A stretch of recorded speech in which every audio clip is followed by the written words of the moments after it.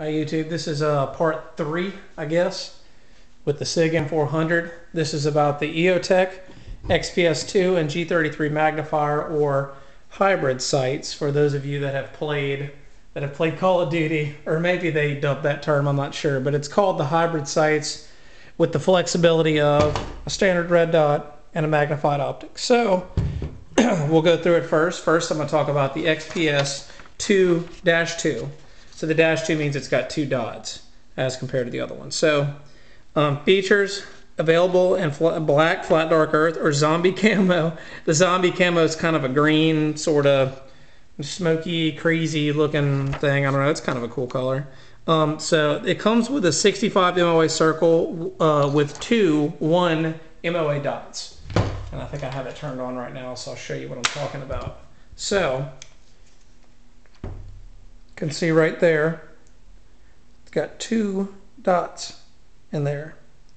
And that's uh, how it's set up. It's supposed to be better for long range. I think you're supposed to sight in the center dot at 100 or 200 yards, and then the lower dot is going to be for like four or 500 yards. But um, this isn't my sight, so I'm not sure of the exact range, but I know that's the idea behind it. Um, so one MOA equals 1.05 inches at 100 yards um, for those of you that don't know. So 65 MOA circle with two 1 MOA dots means that 65 MOA circle cover, covers about 60 inches at 100 yards. And then 1 MOA means that it covers about 1 inch at 100 yards, or 1.05 inches to be exact. So um, with each with each 100 yards, it goes up about an extra inch. So at 200 yards, it covers uh, 2.1 inches, so about 2 inches at 200 yards. So that's what they mean by MOA. Um, the two dot system is for different ranges. Um, this does have some pretty long battery life. This one uses, I believe, uh, a CR123 battery in here. And this uh, this case is gasketed. It is covered, so um, so you're good to go there. They do have a model that uses AA batteries. I don't know the exact model number, but they do have one that uses uh, uh, AA batteries. But it does have a long battery life. If you get AA batteries, I would suggest you use lithium batteries so that the uh, so the sight will last a long time. Although I'm pretty sure the projection uses uh, uses a bunch of little individual LEDs, and LEDs are very low power consumption, so I think you'd be good there. Um, it does use half MOA clicks, so it's not as precise as some other options or magnified optics. And what I mean by half MOA clicks is your adjustments right here, your left and right, and your up and down. So every time you click that, it jumps a half an inch at 100 yards. And I know you're saying, well, that's still pretty precise. Yeah, it is. But there are some sight options that have quarter MOA clicks, so it's a little bit more precise. Although everybody that I've talked to that's had this set up has been extremely pleased with it. So uh, half MOA clicks, I'm mostly saying saying it to you so you have an idea of what you're getting into. If you're used to quarter clicks, personal preference really. Um, it does have a rugged construction. Uh, it's parallax free and the optics are recessed. And what I mean by that is, if you look in here, is a little tricky. You can see the glass is actually behind that little hood on both sides. It's a little bit farther out in the front, but in the back, that's really, really recessed. So you have this nice solid hunk of metal right here to protect your uh, to protect your glass from getting damaged or anything, and that's really nice. So that is very rugged construction. Uh, it's submersible up to 33 feet and it weighs 8.8 ounces. Uh, those are directly from the, the specs on the site. So this is pretty waterproof. I mean, you know, you can completely submerge it and uh, it, it, does weigh 8.8 ounces. So you are adding that to the top of the rifle, although it's more towards the shooter. So it shouldn't throw off your balance too much, but that's just something to consider. Um, this was kind of a cool feature I saw too. Uh, well, actually, first I'll just tell you, uh, easy co-witness. 100% co-witness, meaning when you look down the sight, uh, you can see straight through. Let me get it up here. You can see straight through the irons and get that sight. You can see right there. That's 100% co-witness. They have what's called a third co-witness, meaning that you can see the sight, uh, you can see the iron sights through the red dot optic, but it's not completely it's not completely in there. It's like one stacked on top of the other. So this is a true 100% co-witness if you want that. This cool feature I was talking about, the left and right buttons that you use to turn this thing on, you can see them right there. And yeah, that, that, that is an issue, and I'm going to talk about that. If you push the left button first, this sight will stay on for four hours. And if you push the right button first, the sight will stay on for eight hours. So it does have an auto off feature, and yeah, I don't know, you can do that according to however you want, really, uh, using the left or right side. So that's pretty cool. So now the magnifier.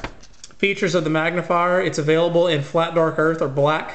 Uh, it doesn't come, I haven't seen one that comes in zombie. Maybe they have one that comes in zombie now, but I didn't see it. Um, it's very, very clear glass, and it actually is 3.3 times magnified. It's the true magnification. It's not just three times. So that's this guy right here, and I'm going to show you all that sight set up all together after I go through this. So um, it's waterproof and fog proof, which is really nice. So it is sealed, it's submersible, very sturdy, just like this. So this sighting system together is submersible, so it would be good for uh, you know just about anything. It's really, really rugged. Um, the mount on this one I've seen is superior to the Aimpoint mount because I think with the uh, with the Aimpoint magnifier mount you actually have to twist it to get it out, but this one just moves by hand and it locks in there really tight as you can hear. I mean it's not going anywhere. That is really tight and and the mount is included is included with uh, with the magnifier or with this whole sight setup. And I think the Aimpoint you actually have to get the mount separately. So in that regard, this is better than an Aimpoint magnifier. Um, it uses it uses a, a, pretty rugged construction that weighs 11.9 ounces. So surprisingly, this magnifier actually weighs more than the sight. And together, 8.8 ounces plus 11.9 ounces. So you're looking over a little bit a little bit over a pound for this entire setup. So you know, take that for what it's worth, but you are adding a little bit of weight. This is long. I'm going to go into more detail on that later. Uh, it does have a strange eye relief at times. It's 2.2 inches. Um, it has manual focus and adjustments. I say weird eye relief because um, it's like you have to kind of get your face really close to it, but uh, you know that's up to you. But as you can see, get this thing in the right spot. As you can see, that is really, really sharp. Look how sharp that circle is. So this is a really, really good setup, and it, it does increase your effective range. So now, the hybrid sighting system, how, how is that? How, how does that stack up to everything else? Well, number one, it is pretty expensive. So it's about a thousand for the whole setup. That's about equal to a Trijicon ACOG, which comes in, I think, a fixed magnification of three or four times or something. Maybe I'll annotate that. But the price of this together is about equal to that. So there are some other options for how much you're paying for this site setup. But then again, you also get the flexibility of magnification or no magnification at all as opposed to the ACOG, which is a fixed magnification all the time. So um, the length, it is a little bit long. As you can see right here, it pretty much fills up the entire upper receiver with, with an iron sight backup over here. So if you didn't have that, you'd have a little bit more room, but it's still a very long sighting setup. So you do have some length there. That's something to get used to.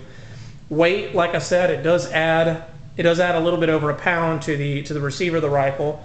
But the good thing is it's not all the way on the muzzle end, so you're not going to be struggling to keep that muzzle up. It's back right where you took that thing into your body. So the weight isn't that bad. Um, this is a big thing you'll probably notice when I showed you the sight. I would suggest using this setup with another holographic sight. I believe the model is the EXPS with side buttons. So the one disadvantage of this that my cousin's noticed since he got this sight set up is that you have to actually kind of reach in there to push that button. It's a little tricky, especially when you're turning it off. You push both of these, and it's right in the way. so the sight setup is still really good. This is uh, still set up just like any other EOTech, so the optics are the same, but the buttons aren't on the side, so it does make it a little bit more difficult to turn it on and off or to adjust the brightness. Um, it does have a very sharp reticle. You saw that earlier. Just scroll back a little bit if you want to see what it looks like down the sights. Um, I say MOA size right here because the good thing about this sighting system is it has a one MOA dot in the middle. So when you zoom in three times, that one MOA dot becomes three MOA, if my math is right. Um, it does get a little bit bigger. So if you have a, a two or three MOA red dot already and you zoom in on it, that's going to cover a lot, a lot of your view in there. It's going to, it's going to obscure a lot of objects when you're looking at that projected dot up close. So I like that this, this dot is really small in the middle so that it doesn't cover a whole lot of area whenever you're zoomed in on it. And that increases your effective range. And I think this sight setup is very robust. You know, it's, it's water submersible. They're really tough. It feels like they're made of forged aluminum or some sort of forged metal. Maybe they're cast, I can't really tell, but they feel really, really solid. So overall, what do I think about it? I think it's a great sighting system. It is a little bit long. That would have to be something for you to get used to. It is a little bit, you know, a little bit bulky. It is a little, a little heavy too. So there are some downsides, but you get great versatility. If you want, um, you know, good uh, CQB up close, just flip that guy to the side, and you have unmagnified red dot optics with the uh, with the EOTech.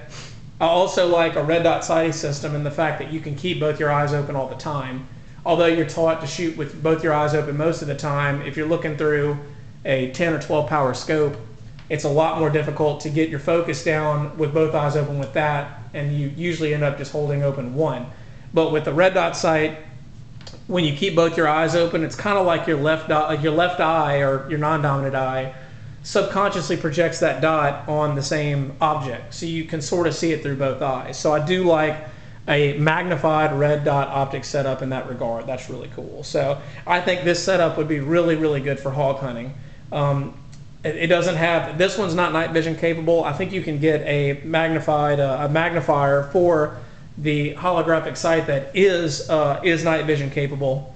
I could be wrong about that, but um, this would be a really good setup for hog hunting. So I think it's good for that. It's good for uh, for close quarters and the magnifier really increases your effective range very well.